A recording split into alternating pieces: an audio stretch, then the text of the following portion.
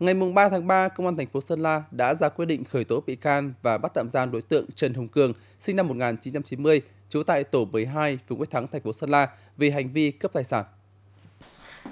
Theo đó, vào hồi 20 giờ ngày 1 tháng 3 năm 2024, chị Đào Khánh Huyền, sinh năm 2004, trú tại tổ 2 phường Quyết Tâm, là sinh viên trường Đại học Tây Bắc khi đang đi bộ tại khu vực quân viên trường Đại học Tây Bắc thì bị đối tượng nam giới đeo khẩu trang che kín mặt, có hành vi sử dụng dao khống chế tấn công và cướp một chiếc điện thoại di động nhãn hiệu iPhone 7, sau đó bỏ chạy.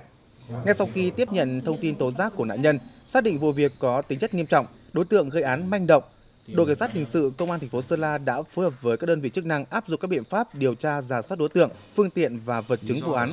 Thông qua các biện pháp nghiệp vụ, đến ngày 3 tháng 3 năm 2024, cơ quan cảnh sát điều tra công an thành phố Sơn La đã điều tra làm rõ đối tượng gây ra vụ cướp tài sản trên là Trần Hùng Cường, sinh năm 1990, trú tại tổ 12 phường Quyết Thắng, thành phố Sơn La. Tại cơ quan công an, đối tượng Cường khai nhận vừa trở về địa phương sinh sống nhưng do không có tiền nên nảy sinh ý định cướp tài sản. Được biết, đối tượng Cường đã có một tiền án về tội cướp tài sản.